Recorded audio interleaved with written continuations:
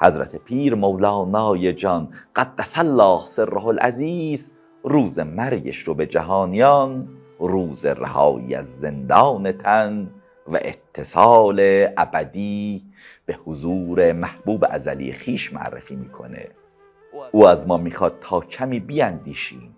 بیاندیشیم که آیا واقعا مرگ پایان سفرمون در این جهان هستیه؟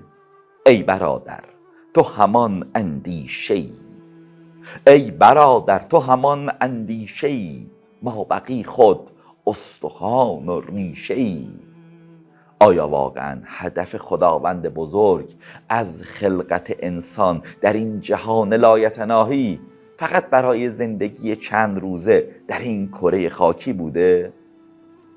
واقعا بیاندیشیم. به روز مرگ چو تابوت من روان باشد گمان مبر که مرا درد این جهان باشد. برای من مگری و مگو دریغ دریغ. به دام دیو درفتی دریغ آن باشد. جنازم چو ببینی مگو فراق فراق. مرا وصال و ملاقات آن زمان باشد.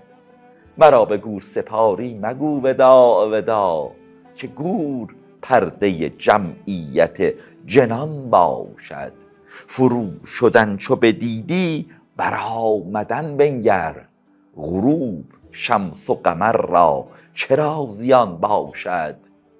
تو را غروب نماید ولی شروق بود. لحد چو حبس نماید خلاص جان باشد. کدام دانه فرو رفت در زمین که نرست؟ کدام دانه فرو رفت در زمین که نرست؟ چرا به دانه انسانت این گمان باشد؟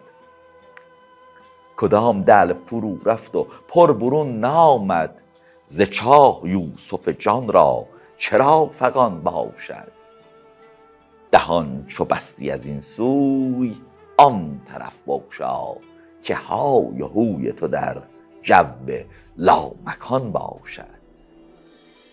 و ای همدلان عاشق چه زیبا خداوندگار عشق و عرفان اون لحظه با شکوه وصل خود رو به محبوب ازلیش تنها در یک بیت به تصویر می‌کشه. مریم هست عروسی ابد مریم هست عروسی ابد سر آن چیست؟ هو الله احد. و برای همینه که عاشقان حضرتش روز پرواز آن رسول آفتاب رو روز عروسی یا به اختصار عرس نامیدند و این روز وصل رو جشن گرفته و به یکدیگه تبریک و تهنیت میگن.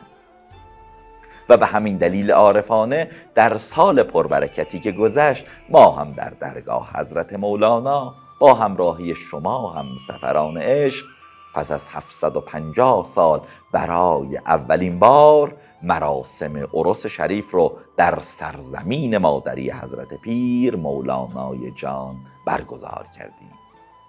و الله و به توفیق الله سبحانه و تعالی و به یاری حضرت حق و همت صاحبان همت و به شرط حیات و با کمک شما عزیزان در این سال عزیز و مبارک و جدید هم به مطابعت از یاران و فرزندان باطنی اون ولی خدا آینهای تخصصی و عرفانی شب و رس رو با شکوهتر و غنیتر و پربارتر و بر محور خرد و مبتنی بر آگاهی های الهی و در عین وحدت و همدلی و دست به دست صاحبان هنر و اندیشه برگزار خواهیم کرد.